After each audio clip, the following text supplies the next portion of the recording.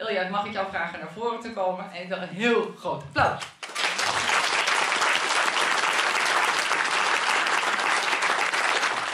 Mag ik uh, Ilja zeggen? Uh, ik zeg uh, meneer Pfeiffer. Nee, Ilja is goed. Let er ook maar uit. Ilja, ontzettend leuk dat je er bent. Heel interessant. Ik ben een paar weken geleden door Willemien gevraagd of ik jou wil interviewen. Je hebt een boek geschreven, een gigantisch dik boek, in 14 maanden tijd. En ik heb het in minder dan drie weken gelezen. dus het, mijn ogen zijn misschien wat, uh, wat vierkant op dit moment. Maar uh, ik heb het uit. ik heb het gelezen.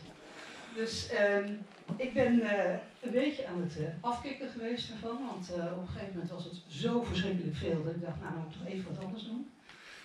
Ik ben met mijn kleindochter naar, van zes naar K3 gegaan. Iets aan de hele andere kant van het culturele spectrum.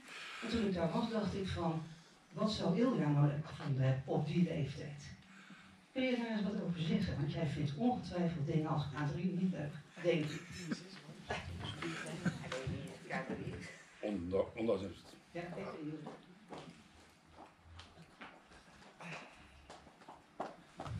Ik zit op kanaal 3, is dit. ik zit op kanaal 5.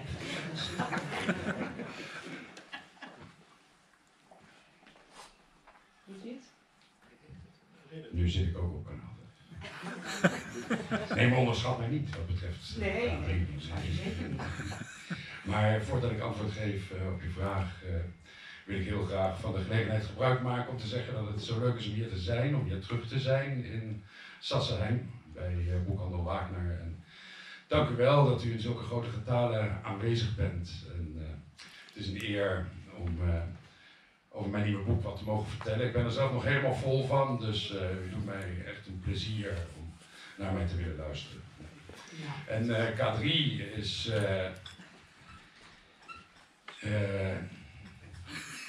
ja, ik ben van de leeftijd dat uh, K3 nog niet bestond toen ik zelf de K3-leeftijd had. Dus ik moet bekennen dat ik uh, uh, die ervaring mis. maar die kant van het culturele spectrum werd heel erg ingevuld door, door een soort van hard rock verslaving die ik toch ook had in de jonge jaren. Ook al, ook al toen je zus? Ja, ja, toen, uh, ja. Toen. Toen Headbangen en dat soort dingen, ja. Dat is K3 toch? Dat is hetzelfde. ja. ja. Nee, maar mijn, mijn vraag is dus eigenlijk indirect van, wat vond jij toen je een jaar of zes was? Wat was jouw interesse? Ik was eigenlijk uh, een heel braaf kindje. Oh, ja? Ja, je zou niet zeggen. Maar het is ook pas op, op latere leeftijd is het helemaal misgegaan. Maar op jonge leeftijd was ik een heel braaf kindje. Ja. Uh, mijn moeder heeft het er nog steeds over. Ja. Dat ik, vroeger was ik zo leuk. Ja. en uh, ik was vroeger ook al heel erg uh, tevreden met mijn eigen fantasie. Ik leefde in mijn eigen fantasie. Ik had op een gegeven moment ook een eigen land bedacht. Ja. En uh, met alles wat erbij komt kijken, landkaarten en steden en rivieren en uh, de shirtjes van de teams in de nationale voetbalcompetitie. Nou ja, alles wat een land nodig heeft. En op een gegeven moment had ik er ook een taal bij bedacht. Nou ja, dus uh, mijn moeder had geen kind aan mij. Nee, nee, dat zal niet. Ik las inderdaad een stukje, ik geloof dat in het NRC stond, waar je moeder het een en ander vertelde. Die zei van, hij kon eigenlijk al lezen en schrijven voordat hij naar de lagere school ging. Ja, dat was ook zo, ja. Heb je dat, was ook voor, dat was voor een deel aan mijn moeder te danken. Mijn moeder is uh, onderwijzeres geweest. En uh, ik leerde van mijn moeder ook op, ja, toen, toen ik twee of drie was, leerden we spelenderwijs uh, lezen en schrijven. Ja. En dat was voor mij eigenlijk alleen maar leuk, want dat was een manier om aandacht te hebben van mijn moeder. Dus dat ging allemaal helemaal vanzelf. Ja, ja. precies. Ja, je moeder was ook remedial teacher, begrepen? Uh, dat klopt, dat was wat later, ja. ja. Nou, Oké, okay, nou ja, dat stond ergens, heb ik gezien. En aangezien ik zelf ook 20 jaar mijn eigen remedial teaching praktijk heb gehad, voelde ik wel een aansluiting. Dus, ik begrijp het, ja. Maar jij was dus uh, eigenlijk best wel voor bij andere kinderen, als ik het zo mag zeggen. ben je nou ook in de categorie uh, hoog? Ja, dat is hoog- altijd zo gebleven, ja. Ja, ja oké, nou laat ik daar maar op ben je dan eh, in de categorie hoogbegaafd geplaatst? Of was dat toen nog niet in die tijd? Nee, dat was toen nog niet. Nee, dat, dat hebben ze toen naar aanleiding van mij uitgevonden. Ja, ja, ja, ja. Nee, het staat er ook altijd bij, hè? Als, er- als je getest wordt, dan staat er hoogbegaafd volgens Pfeiffer. Dat, nee, dat is eh, absoluut een feit. Maar je bent eh, het middelbaar onderwijs in, eh, ingerold en je bent het gymnasium gaan doen. Waar op het gymnasium? Ja, ik ging eh, naar een middelbare school in Voorburg. En eh, dat was een grote scholengemeenschap waar je alles had, van, van MAVO tot en met gymnasium. Ja. En eh, toen ik werd toegelaten tot het VWO naar de brugklas, kon ik dus kiezen of ik dan met Grieks en Latijn wilde of zonder Grieks of Latijn. Natuurlijk koos ik met Grieks en Latijn. Hoezo natuurlijk? Ja, dat was toch interessant. Dat vond ik Oh, echt wel hartstikke leuk. Ja, En ik wilde gewoon zoveel mogelijk doen. ja, Dus dan ook maar Grieks en Latijn erbij. En in het begin, eh, ik vond Grieks gelijk heel erg leuk. En in het begin was dat voornamelijk omdat het een, eh, een soort van geheimschrift was met rare lettertjes. En, eh, eigenlijk uit die tijd stamt mijn fascinatie voor het oude Griekenland. Dat snap ik, ja. En, en was dat een beetje de combinatie met de taal die jij zelf gemaakt had? Die, zelf, die je zelf had uitgevonden, zeg maar? Dat kwam voort uit dezelfde soort fascinatie. Ja, ik, eh, ik was geïnteresseerd in het fenomeen taal. Ja, Eh, ook al klinkt dat een beetje zwaar als we het hebben over een jongetje van 12, 13. Maar ik, ik, ik, ik vond het heel spannend, dingen die met taal te maken hadden. Ja. ja, En die, eh, die fascinatie voor Grieks, eh, die begon met de fascinatie voor het rare alfabet. Heeft zich toen langzamerhand geëvolueerd in een fascinatie voor die cultuur en voor die literatuur. Ja. Eh, je moet er vrij veel voor investeren. Je moet eh, een moeilijke taal leren. Maar de beloning is dat je op een gegeven moment eh, in het origineel eh, de teksten kunt lezen die 2500 jaar geleden geschreven zijn. En eh, dat is eigenlijk een manier om rechtstreeks in contact te komen met wat iemand 2500 jaar geleden heeft gedacht. Ja. Zonder filter. Het is direct dat. Dat zijn de woorden van toen. En dat is een, eh, een sensatie van pure magie. Het is een sensatie van. dat, men heeft het wel over de historische sensatie. Hè? De sensatie dat je het idee hebt dat je de geschiedenis kunt aanraken. ja, ja. Als je je direct toegang kunt verschaffen tot Griekse en Latijnse teksten in het origineel, is dat een heel sterke vorm van een historische sensatie. Ja. En ik was toen zo gefascineerd daardoor dat ik. eh, eh, inmiddels was ik ook in algemene zin eh, erg geïnteresseerd in literatuur. Dus ik, toen ik moest kiezen wat ik zou gaan studeren, wilde ik iets studeren waar, waar ik heel veel zou leren over literatuur. En het was eigenlijk een veel voor de hand liggende keuze om toen klassieke talen te gaan studeren, omdat eh, die fascinatie voor die wereld eh, al was wakker gekust en tegelijkertijd het besef bestond dat eh, enkele van de allerbeste dingen die ooit zijn geschreven, de beste literatuur ooit zijn geschreven, is toevallig in die twee talen geschreven. Dus dat, dat lag voor de hand om toen klassieke talen te gaan studeren. Dat is een keuze die ik ook nooit heb betreurd. Het, was, het, is, schit- het is een schitterend vak. ja, ja.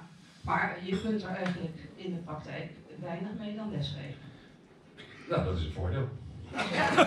Wel als je uit een onderwijzersgezin komt. Nuttige dingen zijn er al genoeg. Nee, eh, dat- dat het nutteloos is, is een heel groot pluspunt. Ja. Ik weet dat ik nog meer wijze lessen zal geven aan u vanavond. Die u mee kunt nemen en waarmee ik uw leven zal veranderen vanavond. Maar dit is de eerste. Alles wat van nut is, is absoluut waardeloos. Oh, nou dat is goed om te weten inderdaad. Dat is de eerste les. Nadat u, eh, nadat je, moet ik zeggen, eh, gestudeerd hebt, de klassieke talen zoals duidelijk is, ben je, eh, heb je een tijd lesgegeven op een universiteit, begrijp ik. Ja, in Leiden aan de universiteit, ja, Ja. waar ik heb gestudeerd. Ik ben daar toen gepromoveerd en tijdens dat promotie promotietraject kon ik al het college geven. En daarna ben ik nog een aantal jaren werkzaam geweest als onderzoeker en docent aan de Leidse Universiteit. Ja.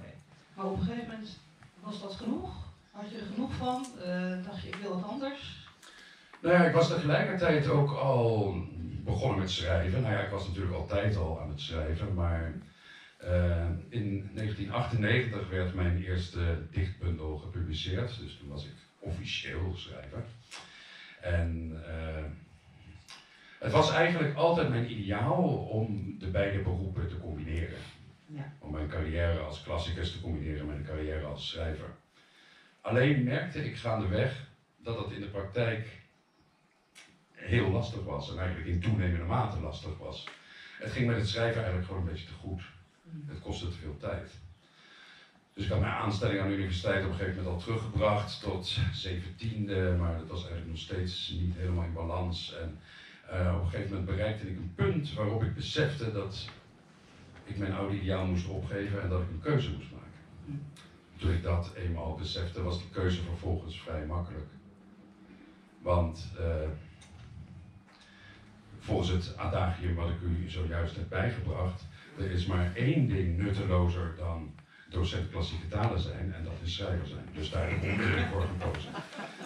Nee, er was natuurlijk geen sprake van dat ik kon stoppen met schrijven. Nee. En uh, tegelijkertijd, uh, ik, ik, kijk met heel veel dankbaarheid terug op mijn, uh, mijn jaren aan de Leidse Universiteit. Ik heb daar enorm veel geleerd. maar het was toen ook wel tijd om wat anders te doen. En toen ben je op de fiets gestapt? Ja, dat was weer wat later. Ja.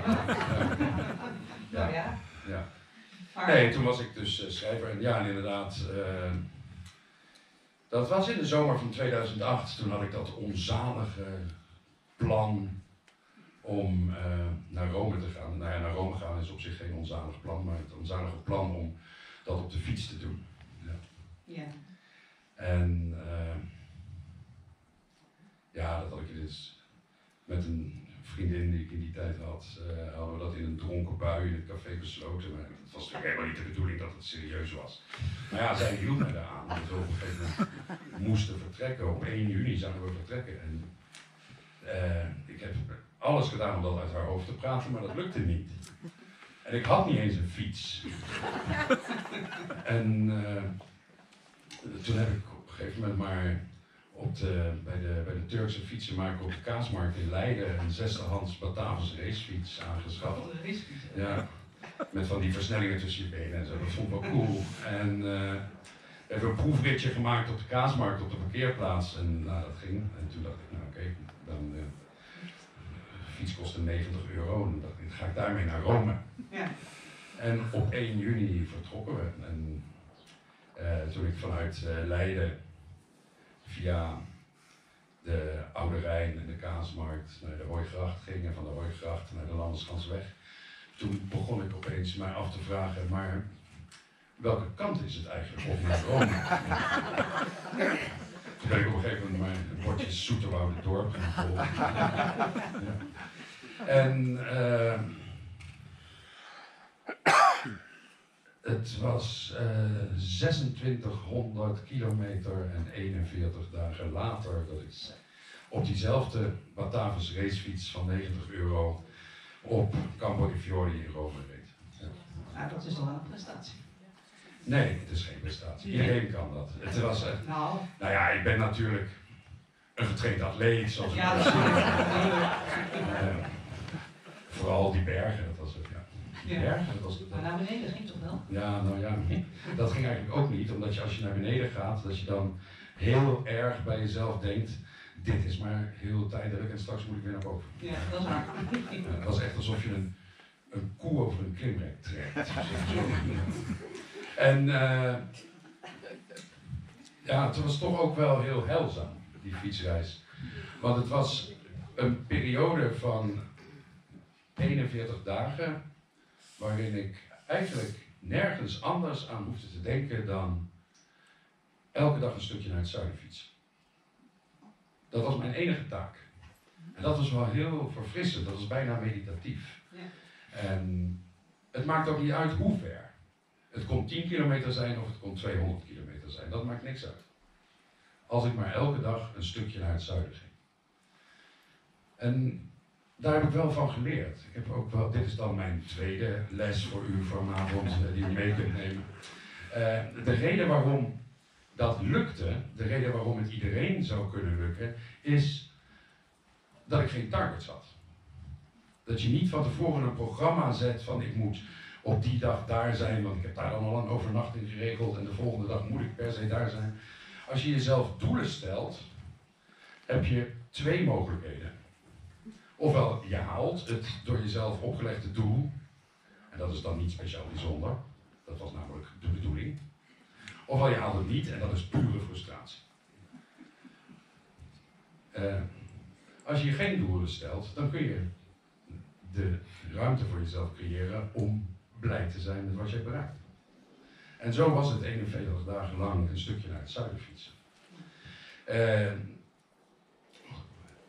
ondanks mijn onbetwistbare capaciteit als klimmer had ik natuurlijk wel enige achterdocht jegens uh, de Alpen. Dus uh, ik had eigenlijk besloten om met een, met een grote omweg om de Alpen heen te fietsen. Dus het was een beetje een omweg. Uh, we gingen eigenlijk van via Dorp uh, en Gorkum en Tilburg bij, bij Goorle de grens over. Dan ben je bij Turnhout en dan dwars België door via Leuven. En dan kom je in het uiterste noordelijke puntje van Frankrijk bij Givet kom je daar binnen. En dan rechtdoor tot aan Marseille. Daar linksaf, de zee volgen en dan kom je bij boven. Als je die route volgt, is het 2600 kilometer. En uh, als je die route volgt, kom je onvermijdelijk langs Genua. Ja. ja. En uh, het was op die fietsreis, we, hadden op een gegeven moment uh, wel bedacht dat we in Genua een paar rustdagen hadden verdiend. En op dat moment werd ik eigenlijk verliefd op die stad. Zo erg dat ik bijna besloot om dan maar niet verder te fietsen en daar te blijven in Genua even een tijdje. Maar ja, ik had met mijn domme hoofd al aan te veel mensen verteld dat het het idee was om naar Rome te gaan. Dus het zou als een nederlaag worden gezien als dat doel niet werd gehaald. Dus ik had dan toch weer een doel. Dus we gingen wel verder. Maar daarna, nadat Rome gehaald was, ben ik teruggegaan naar Genua. En ik had oorspronkelijk het idee om daar uh, een tijdje even te blijven. Het leek me goed voor mij, ook om even wat uh, inspiratie op te doen. Ik dacht misschien twee maanden of zo. Dus ik had uh, een gemeubileerd appartementje gezocht en gevonden en dat heb ik voor twee maanden gehuurd. En midden in de oude steegjes, dat was allemaal prima. En dat heb ik toen nog een keer verlengd. En toen dacht ik, nou ja, daarna moet ik toch weer terug naar Nederland. En toen nog een keer verlengd. Toen dacht ik, maar waarom moet ik eigenlijk terug naar Nederland? Dat hoeft eigenlijk helemaal niet. En dat kleine tijdje is nu inmiddels bijna 15 jaar dat ik dat heb. En mijn fiets staat nog steeds in Genua. Dus je zou kunnen zeggen dat ik ben weggefietst uit Nederland en nooit ben teruggekomen. Nee. Behalve dan dat ik met groot genoegen weer in Sas ben. Hoe was het verder in Genua? Daar ging het toch wat minder goed met jou, begrepen. Ondanks dat jij uh, uh. Nee, dat is helemaal niks van waar. Nee, dat is helemaal niks van waar. Oh, oké. Okay. Dat zijn roddels uit NRC. Oh, uit de mond van mijn bezorgde moeder. Mijn bezorgde moeder vond het mij helemaal niks dat ik zo ver weg was. okay. Dus die strooit nu praatjes in het rond dat het daar helemaal niet goed met mij ging. Dat ging heel goed met mij. Hij is op, op het andere kant, die NRC. Uh, maar uh, je hebt daar ook uh, een, je grote liefde ontmoet. Je muze. Ik ben blij dat je eindelijk ter sprake brengt. Ja, ja, ja, dat is ook een lange inleiding, hè? Nee, daar heb ik Stella ontmoet, ja. En, ja. nu ben ik uh, in plaats van alleen maar verliefd op de stad, ben ik verliefd op de stad en ook op Stella. Nou. Dus er zijn steeds meer redenen om gelukkig te zijn in Genua. Ja. Dat gezegd zijnde heb ik Nederland nooit echt verlaten natuurlijk. U bent mijn lezers, u bent hier, ik ben toch wel heel vaak ook weer hier. Dus ik heb eigenlijk mijn territorium een beetje uitgebreid. Dat is mijn derde les voor vanavond dan nu. Ik kan het u aanraden. Territorium uitbreiden. Ja, ja, ja. Maar ik begreep dat Stella ook een beetje degene is die eigenlijk uh, de oude liefde voor uh, Alca, ik moet dat Alca, ik zeg altijd Alca Biares, Nee, ik oh, misschien is dat ook nog een les hoe dat in het curriculum. Oh ja, nee, maar daar kunnen we kort over zijn. Uh, wat dat betreft kan ik jou en iedereen hier geruststellen. Ja. Uh, je kunt het eigenlijk niet fout doen.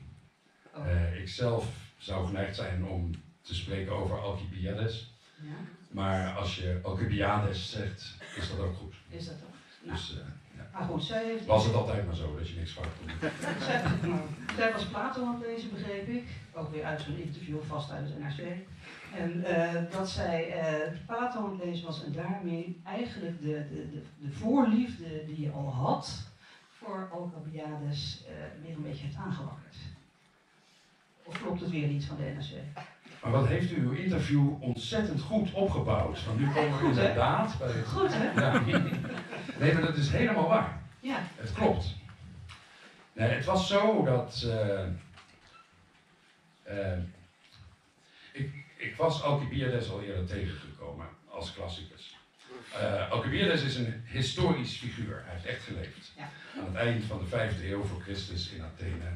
een buitengewoon zichtbaar, kleurrijk figuur met een ongelooflijk leven. En als je klassieke talen studeert, dan kom je hem tegen bijvoorbeeld in teksten van Plato of in Thucydides. En, uh, zoals andere historische personages. En in die tijd, toen ik nog klassicus was, had ik al het idee dat dat zo'n ontzettend fascinerend personage is. Dat zo'n ongelooflijk leven heeft geleid, dat hij eigenlijk een historische roman waard zou zijn. En ik had toen eigenlijk ook al bedacht, uh, onbescheiden als ik toen al was, dat ik dat dan maar moest schrijven, die historische roman. Maar vervolgens heb ik dat eigenlijk nooit gedaan. Uh, en misschien durfde ik het eigenlijk niet.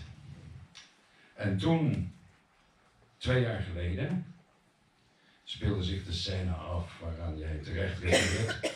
Want uh, Stella leest graag Griekse filosofen in bed voor het slapen gaan. En ze was toen uh, het symposium van Plato aan het lezen. En aan het einde van het symposium van Plato is een prachtige scène waarin Alcibiades dronken binnenkomt en uh, begint te vertellen over zijn grote liefde voor Socrates. En uh, een schitterende scène. En zij vertelde daarover. En toen herinnerde ik mij dat oude plan. Dat oude plan dat ik ooit over Alcibiades een roman zou willen schrijven. En ik was tegelijkertijd ook eigenlijk een beetje jaloers op haar. Dat zij daar in bed lag met Alcibiades, terwijl dat eigenlijk mijn man was. en toen de volgende dag ben ik begonnen uh, met het schrijven van deze roman. Ja. Maar dit was de aanleiding. De oorzaak is eigenlijk iets anders. Want de oorzaak is dat toen ik weer opnieuw nadacht, dankzij Stella opnieuw nadacht over Alcibiades, en ik had het daar natuurlijk met haar over en zo. Toen besefte ik opeens, wat ik eerder niet had uh, begrepen, dat ik aan de hand van het verhaal, het levensverhaal van Alcibiades, kon spreken over thema's die heel erg relevant zijn voor ons vandaag de dag. Toen was het kwartje echt gevallen. En toen was dat oude project, wat ik nooit echt had aangedurfd, opeens urgent geworden en noodzakelijk. Uh, die thema's, daar komen we misschien nog over te, sprake, over te spreken, maar uh, toen opeens begreep ik dat ik haast moest maken met dit verhaal. Dat het een verhaal is dat ik nu met mijn lezers moet delen. Ja, en dan praat je over het verval van de democratie. Ja, Is die uit? Ik ben overgegaan naar kanaal 1. Ja. nou, doe het nog. Uh, nee, het klopt. Uh, Alcibiades uh, is een hoofdrolspeler in een periode in de geschiedenis, aan het eind van de vijfde eeuw voor Christus in Athene, waarin de Atheense democratie, de oudste democratie ter wereld, in verval raakte. Ja. En hij was daar persoonlijk nauw bij betrokken. Hij was een uh, toonaangevend politicus en militair bevelhebber in die dagen. En hij was daar misschien zelfs ook wel tot op zekere hoogte persoonlijk schuldig aan. Aan het verval van de democratie.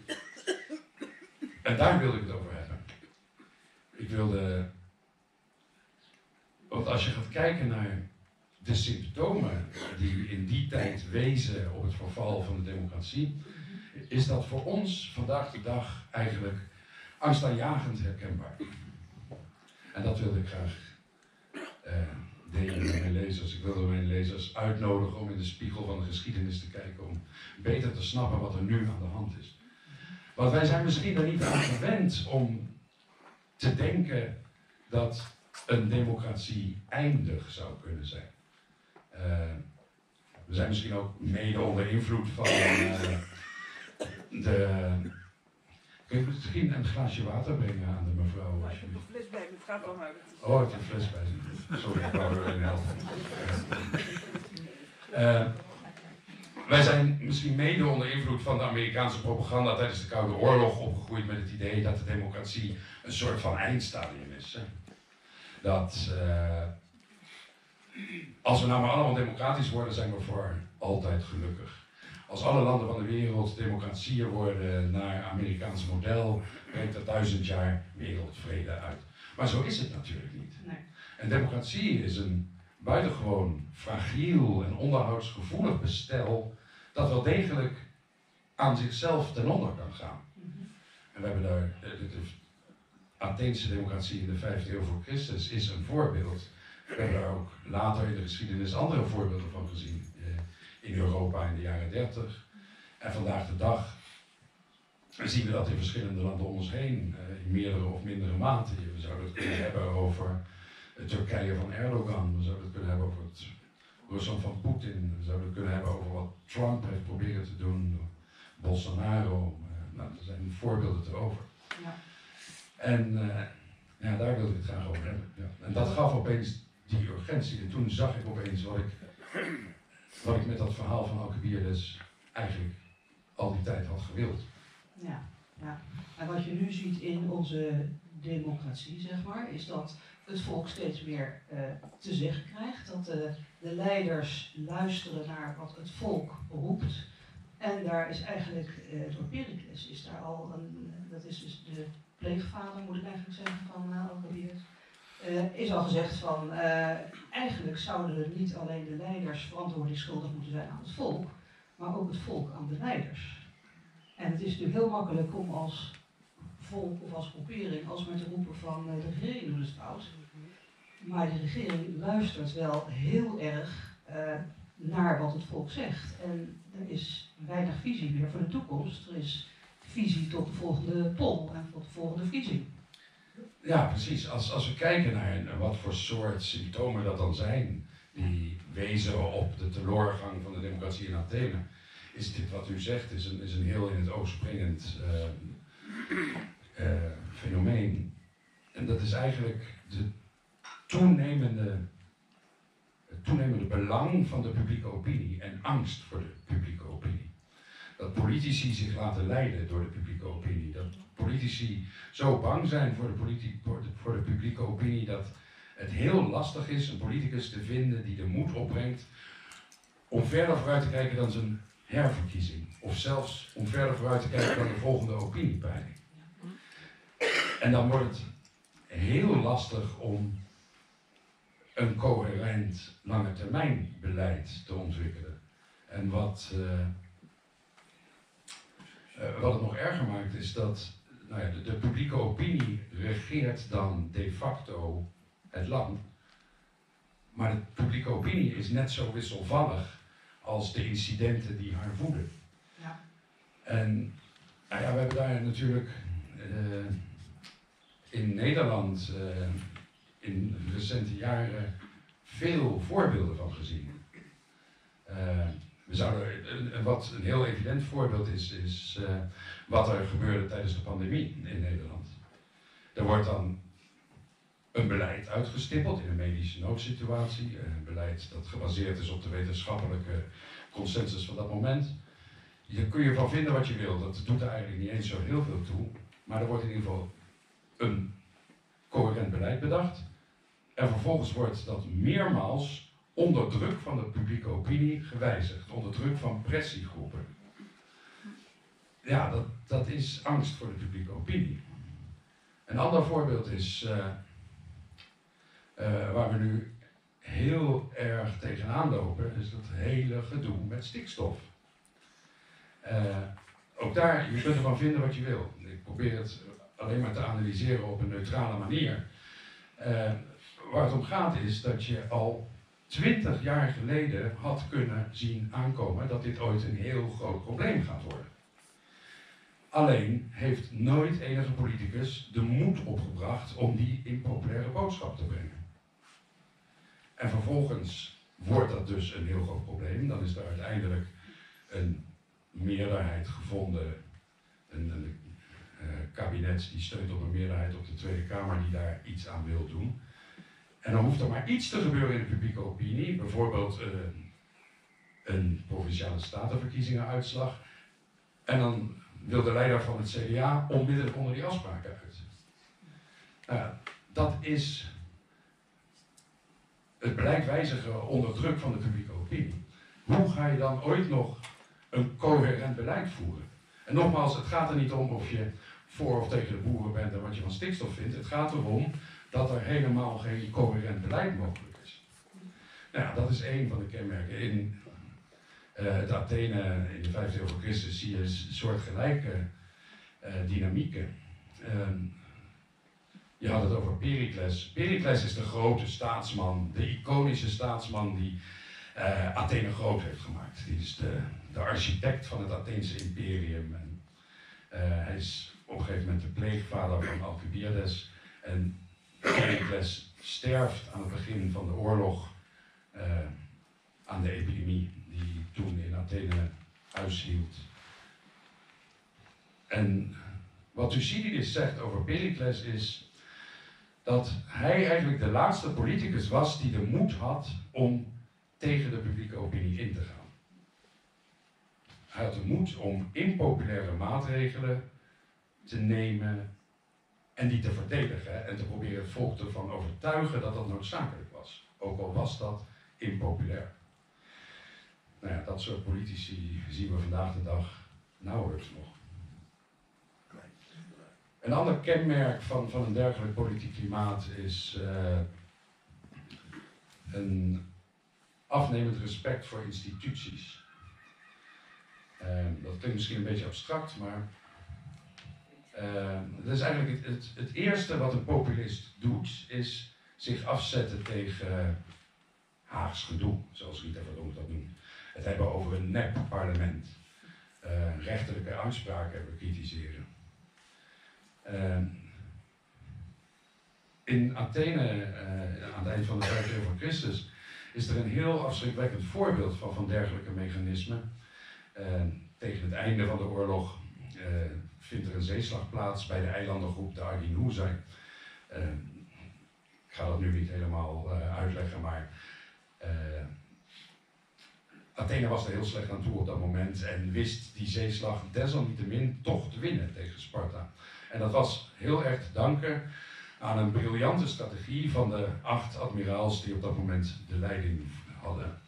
Uh, Alcibiades was er op dat moment niet bij, het waren anderen, maar die hadden een briljante strategie bedacht. En het enige was dat de dag daarna een storm uitbrak waardoor ze niet in staat waren om de drenkelingen te redden en om de doden te bergen. Toen ze terugkwamen in Athene, werden ze niet onthaald als overwinnaars, maar in staat van beschuldiging gesteld vanwege die nalatigheid. Dat het niet was gelukt om de doden te bergen en de drenkelingen te redden. En dat liep helemaal uit de hand. De volksvergadering werd een soort van emotionele uh, emotionele achtbaan waarbij de beschuldigingen steeds erger waren. En de populist van dat moment, Cleophon, die spond daar garen bij. En die kwam op een gegeven moment met de motie om die collectieve verontwaardiging die opborrelde uit de volksvergadering eh, voor zichzelf productief te maken door de doodstraf te eisen voor die acht admiraals. En natuurlijk waren er toen ook mannen die opstonden in de volksvergadering die zeiden, maar dat is helemaal onze bevoegdheid niet. Daar moet de rechter over beslissen. De volksvergadering kan geen doodvonnissen uitspreken. Maar op dat moment ontstak Cleofon in woede. En hij zei, maar wij zijn het volk. Dit is de wil van het volk. Het wil van het volk is soeverein. En het zou wat zijn als we, iets moesten, ons, als we ons iets moesten aantrekken van dat soort regeltjes. Die alleen maar door de elite zijn bedacht om de wil van het volk te knechten. En vervolgens worden die admiraals daadwerkelijk ter dood voor. Nou ja, we herkennen de manier van redeneren. Is dat nou een, uh, een parallel? Wij kunnen dat natuurlijk niet doen, wij kunnen de mensen niet ter dood veroordelen. Maar um, ik kan misschien wel een kleine anekdote zelf vertellen die ik heb meegemaakt. Ik uh, was op bezoek in de Tweede Kamer. En daar uh, zeiden de Kamerleden tegen mij van, wij hebben toch zo'n last van die pers. Want die dingen die wij zeggen, die worden allemaal verdraaid en het wordt allemaal op een andere manier wordt dat, neergezet dan dat wij bedoelen. Dus ik dacht, nou dat zal wel ongeveer kloppen, dat, dat kan me iets bij voorstellen. En een paar minuten later spreek ik een ander Kamerlid en die zei, weet je dat wij alleen maar vragen in de Tweede Kamer mogen stellen over onderwerpen die in de pers zijn geweest. Toen zei ik ook van, dan geef je die pers dus wel een ongelooflijk grote macht. Want daar wordt op gereageerd in de, in de regering en in de Kamer. Dus dan zal dat op die manier niet in Athene gebeurd zijn. Maar je ziet wel dat het volk dus een enorme macht krijgt door middel van de pers op de ja, zeg maar impact op de regering, op wat de regering doet en wat de regering niet doet. Nou ja, dit zou een voorbeeld zijn van, uh, van politiek die gestuurd wordt door incidenten. Ja. Want dat is waar de pers over bericht en dat bepaalt vervolgens de agenda, ja, de politieke agenda. Precies. En dat leidt natuurlijk niet tot, uh, tot visie, Nee. tot lange termijn visie, tot een idee van waar we over 50, 100, 150 jaar willen zijn in dit land. Regeren is vooruitzien, dat uh, is niet meer. Dat is totaal uit de mode geraakt. totaal uit de mode. Er is een, uh, een oud Grieks uh, model over de verschillende staatsvormen. En in mijn roman leg ik het in de mond van de filosoof Protagoras.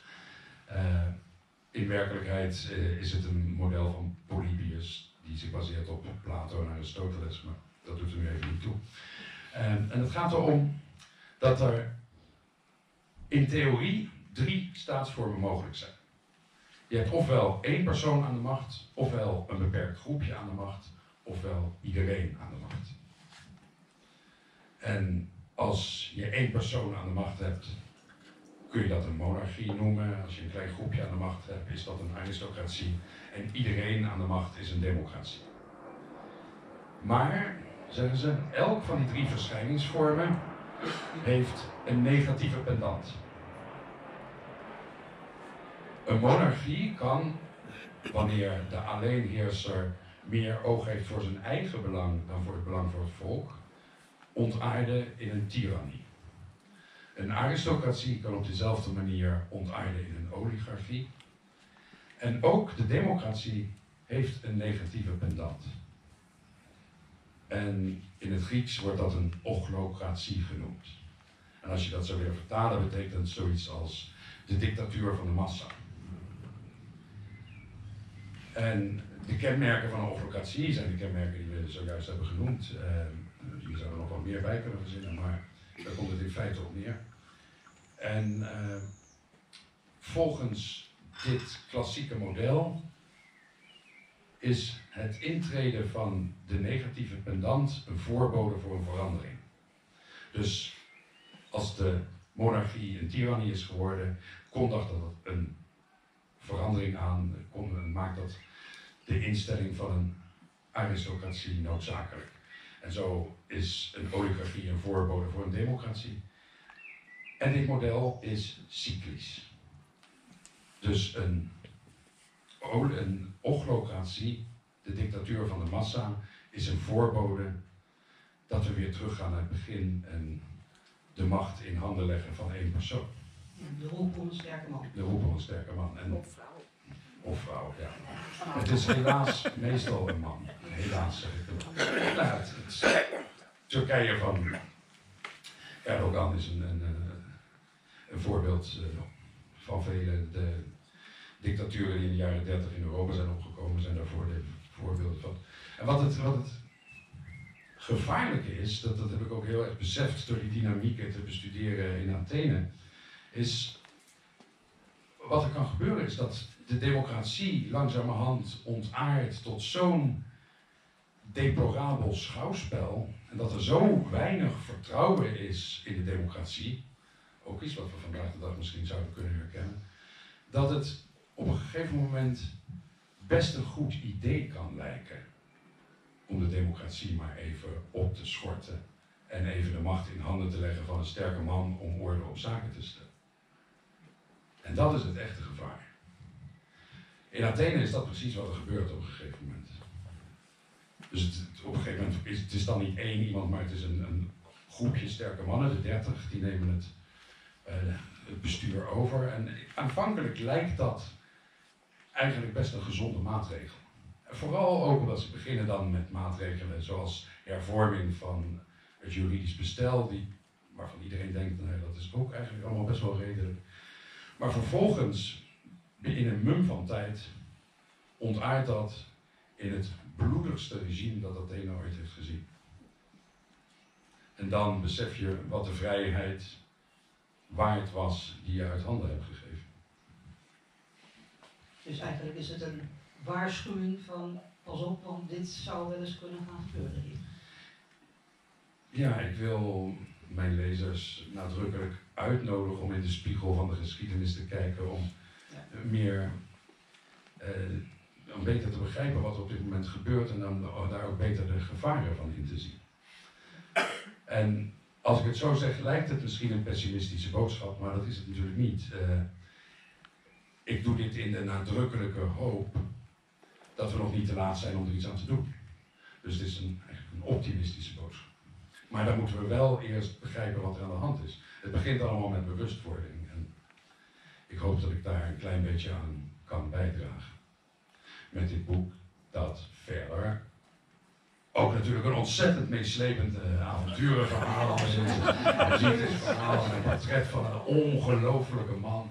En je ziet een, hele mediterrane wereld, van Athene tot Sparta, tot Perzië, uh, Sicilië komen we nog.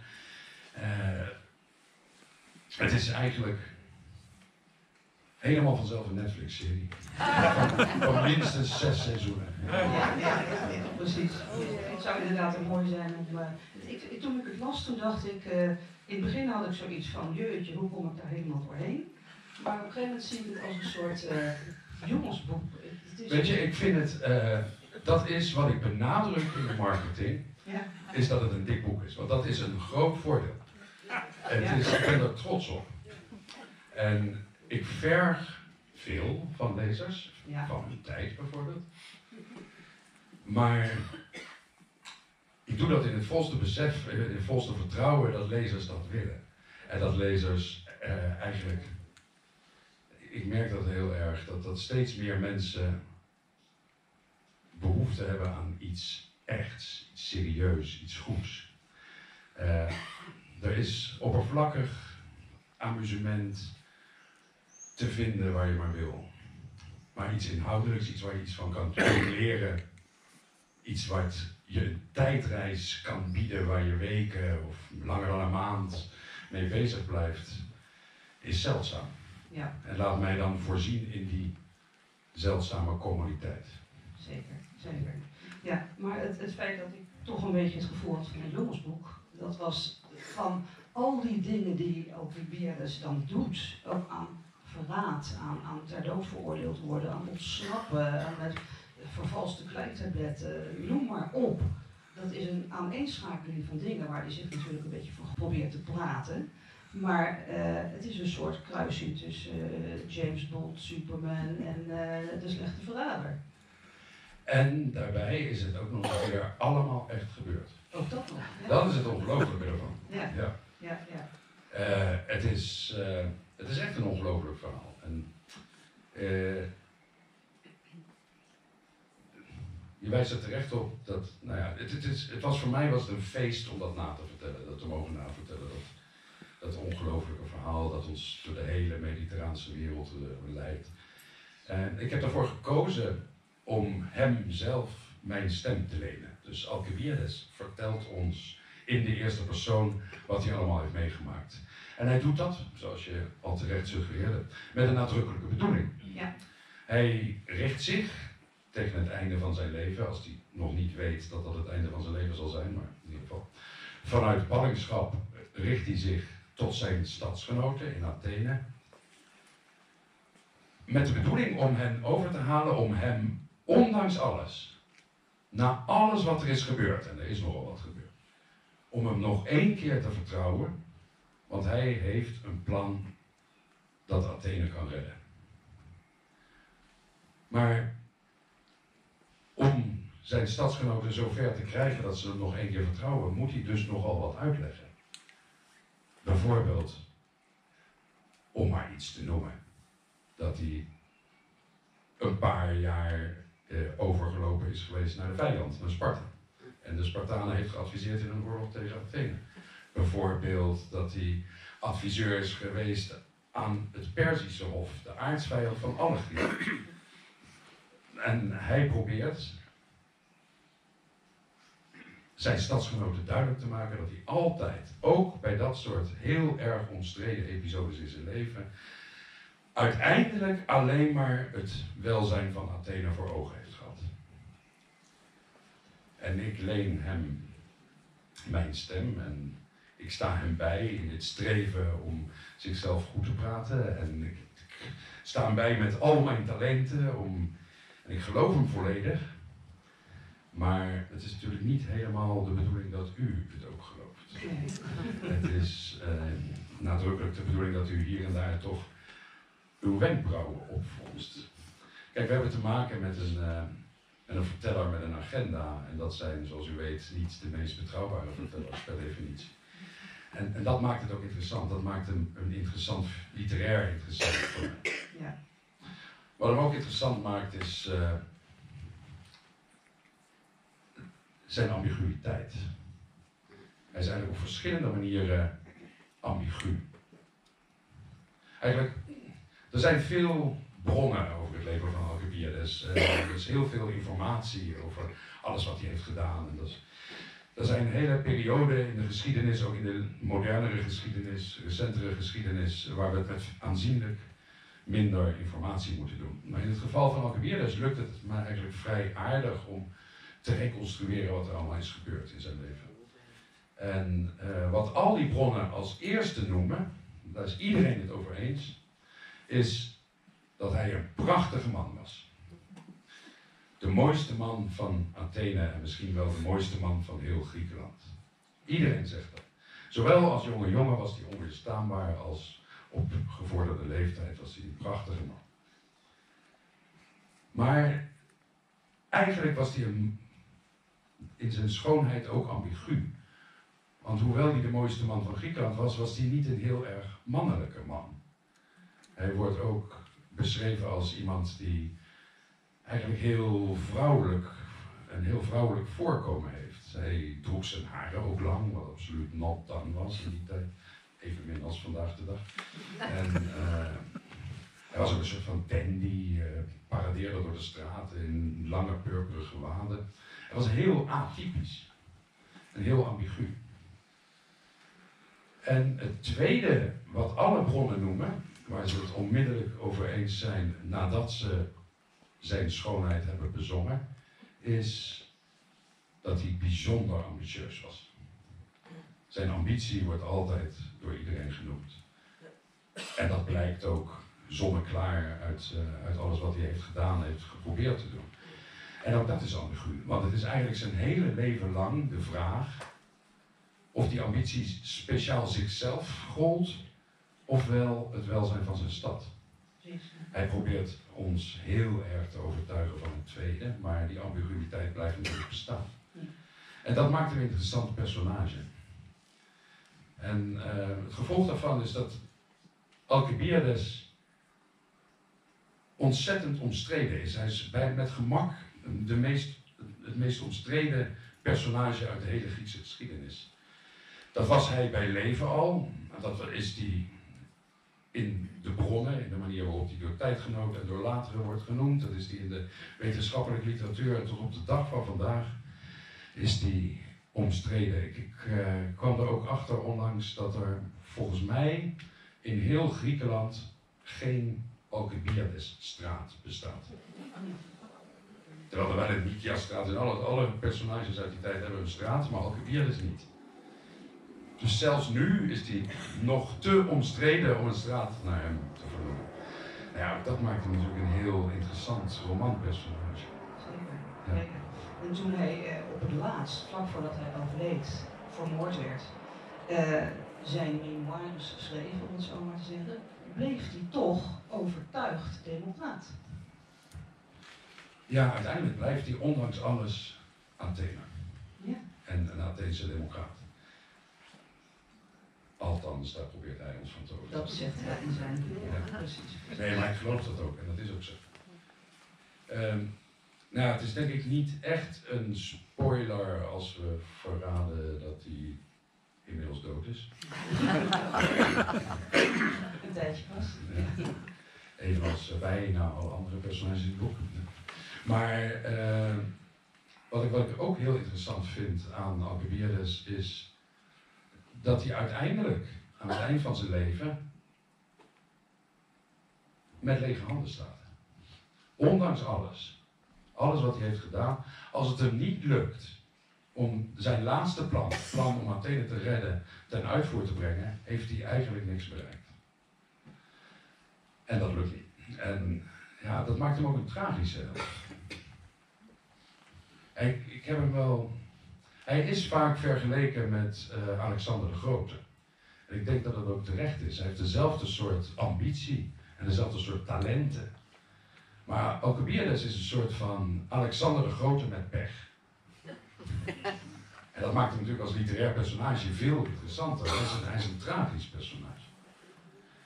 En die pech, als je nou zou willen lokaliseren waar die pech zit, zit die voor een groot deel in de mechanismen van de democratie, in de machtsstrijd waar hij het slachtoffer van werd.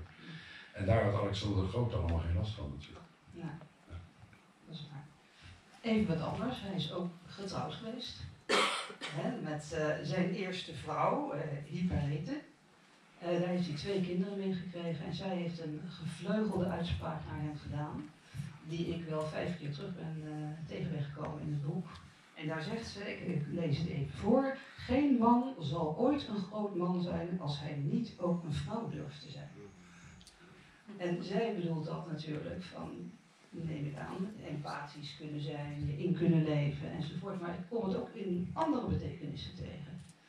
Uh, het feit dat hij zich als vrouw verkleedt, dat wordt er dan bijgehaald. Maar in deze, denk ik dan, is niet wat zij bedoelt.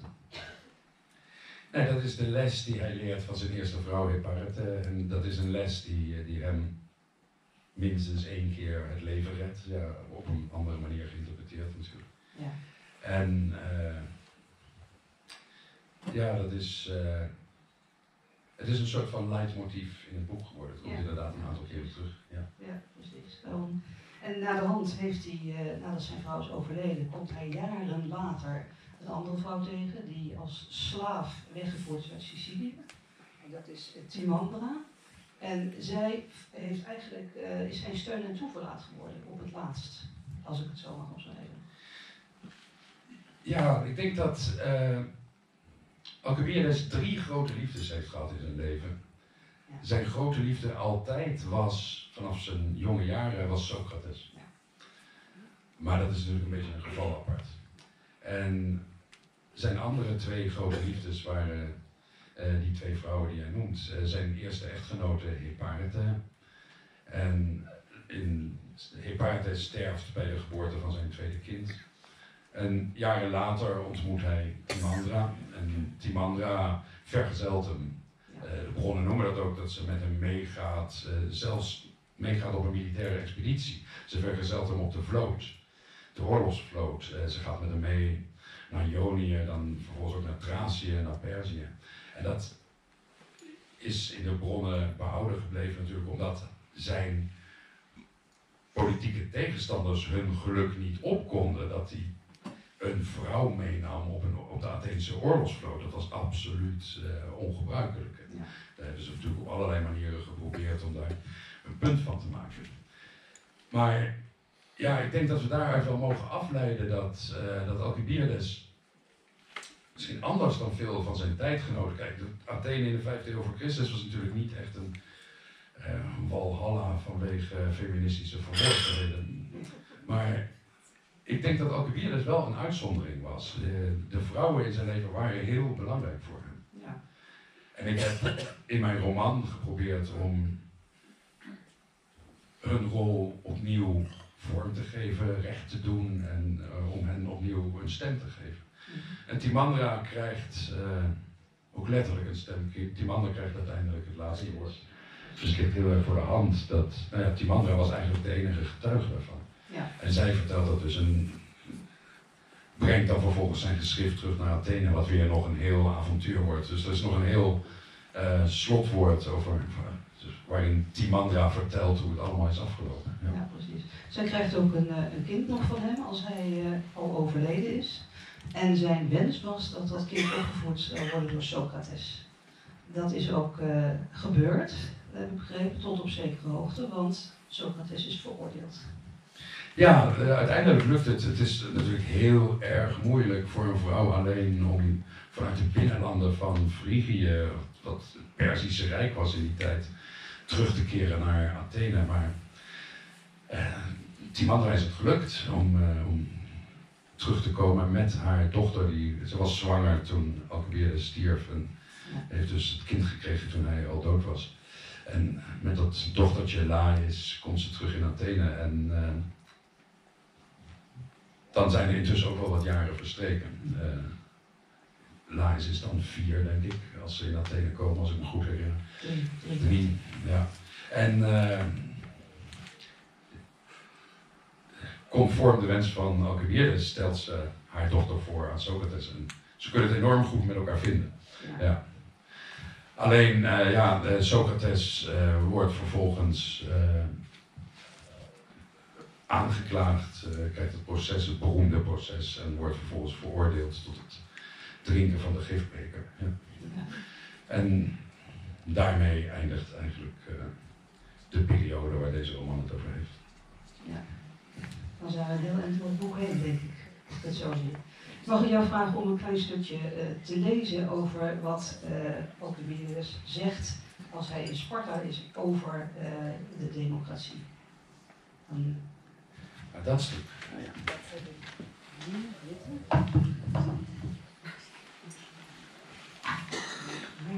Punt hier bovenaan bij dat streepje.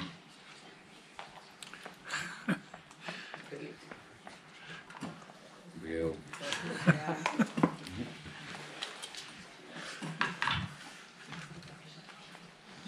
Dankjewel. Vandaar. Tot. Ja.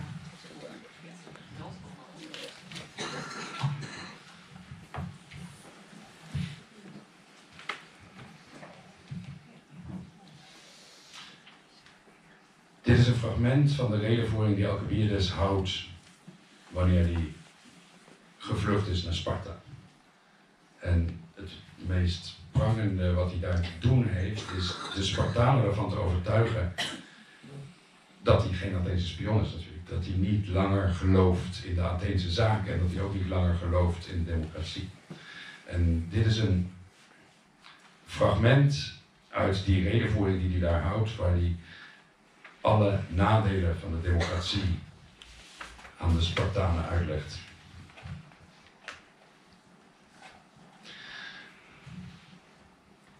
Datgene wat mij is overkomen dient te worden begrepen als het onvermijdelijke gevolg van een fundamenteel feilen van het democratische systeem waaraan mijn ambities waren onderworpen. Aangezien jullie geen directe ervaring hebben met democratische processen, waarvoor ik inmiddels in staat zou zijn jullie gelukkig te prijzen, willen jullie mij wellicht toestaan dat ik met de gewenste uitvoerigheid toelicht op welke wijze ik de democratie als zodanig als oorzaak beschouw van mijn lot en van de uiteindelijke onvermijdelijke ondergang van Athene. Omdat democratie per definitie stoelt op het collectieve oordeel van het volk, is zij onderworpen aan de turbulentie van opvliegendheid en oncontroleerbare emoties. Om de democratie naar behoren te laten functioneren, is het derhalve essentieel om mechanismen in te bouwen die afstand scheppen, vertragen en gevoelens afkoelen. Dit vergt leiders als Themistocles en Pericles, die zich niet laten leiden door de angst voor bevliegingen van de veranderlijke volksgunst, die een visie hebben en de moed om het volk daarvan te overtuigen, en die het debat durven te sturen in plaats van zich door de publieke opinie te laten regeren.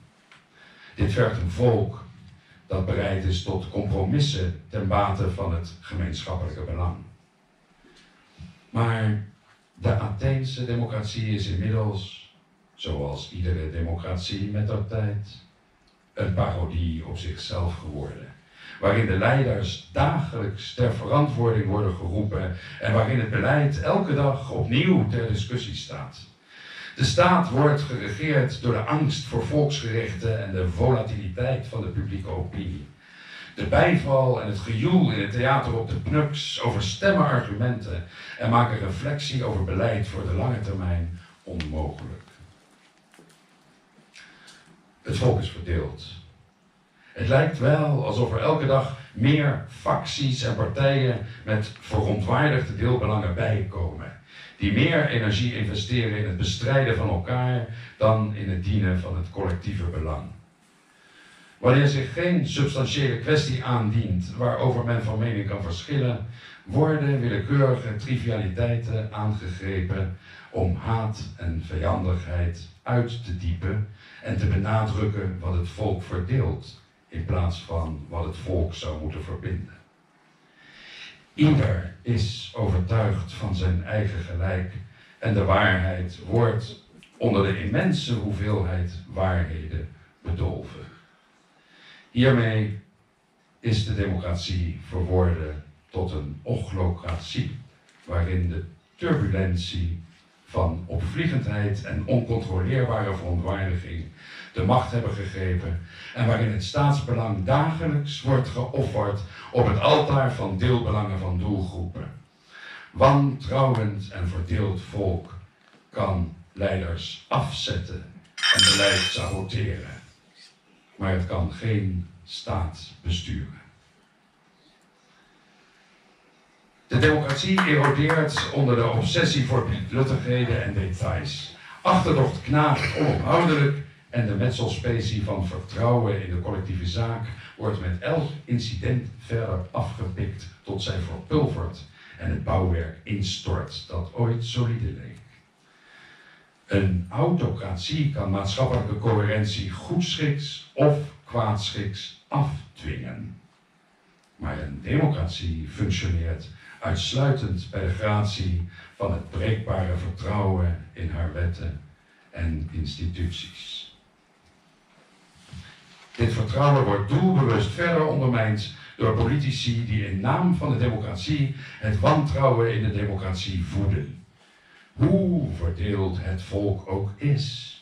Er staan om de haverklap leiders op die de uiteenlopende vormen van onvrede mobiliseren en pretenderen dat zij namens het gehele volk spreken. Zij spiegelen het volk voor dat het een monopolie heeft op het gezonde verstand en dat het homogeen is, in zoverre het wordt verraden door de politieke elite. Zij presenteren het als een vanzelfsprekendheid dat de gezonde volkswil, die door de heersende klasse wordt genegeerd, naadloos samenvalt met hun eigen standpunten. En elke mening die afwijkt van die van hen, beschouwen zij als een verloochening van het soevereine volk en een verkrachting van de democratie. Zij doen een beroep op emotie en presenteren rationaliteit als een instrument van het establishment. Het volk heeft geen behoefte aan feiten of argumenten, omdat het volk donders goed weet dat argumentatie een onderdeel is van het complot om het volk te onderwerpen en dat dat de feiten zijn. met de insinuatie dat de democratische instituties het werktuig zijn waarmee de politieke elite het volk knecht en kleineert, zetten zij het volk in naam van de democratie op tegen de democratie, die in hun visie geen democratie mag heten als zij niet neerkomt op een compromisloze alleenheerschappij van hun eigen gelijk.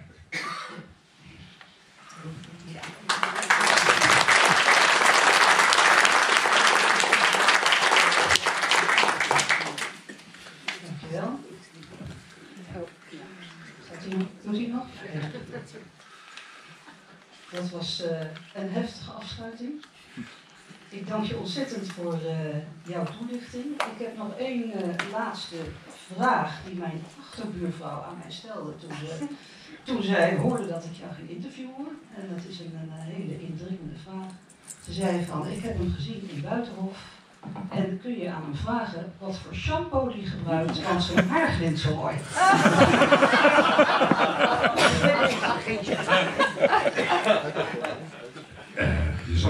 Je zult begrip voor opbrengen dat ik dat geheim niet kan verraden. Dankjewel.